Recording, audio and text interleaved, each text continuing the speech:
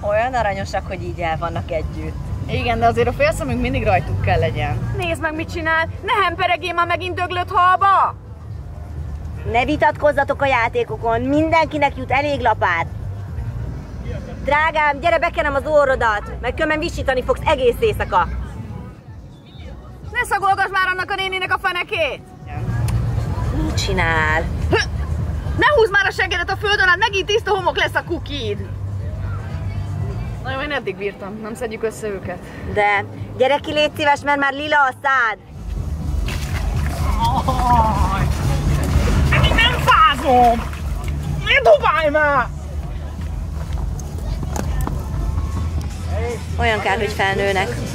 Ezek sose.